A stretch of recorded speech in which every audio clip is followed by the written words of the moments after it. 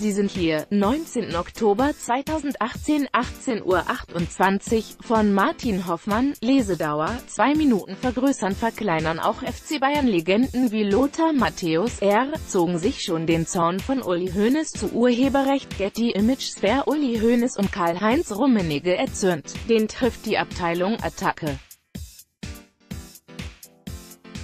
Sport 1 erinnert an die denkwürdigsten Fäden der Bayern-Bosse.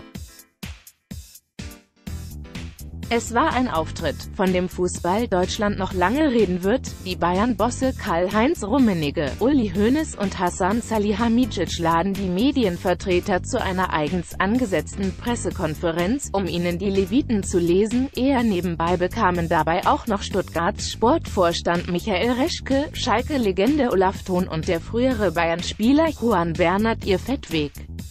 Zwar sind Rummenigge und Hoeneß sich gerade zuletzt nicht immer einig gewesen, aber bei einem Thema immer, wenn irgendjemand die Bayern angreift oder dem Club sonst irgendwie nicht passt, gibt's auf den Deckel, und zwar kräftig und öffentlich. Abteilung Attacke heißt das Stichwort. Der Zorn der beiden traf auch schon viele andere, Christoph Daum, Willy Lemke, Lothar Matthäus, Mesut Özil, Freddy Bobic, aber auch mal die eigenen Fans und sogar den Papst.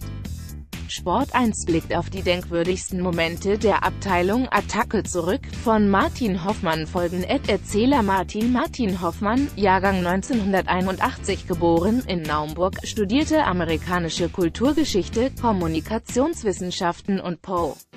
Punkt. Mehr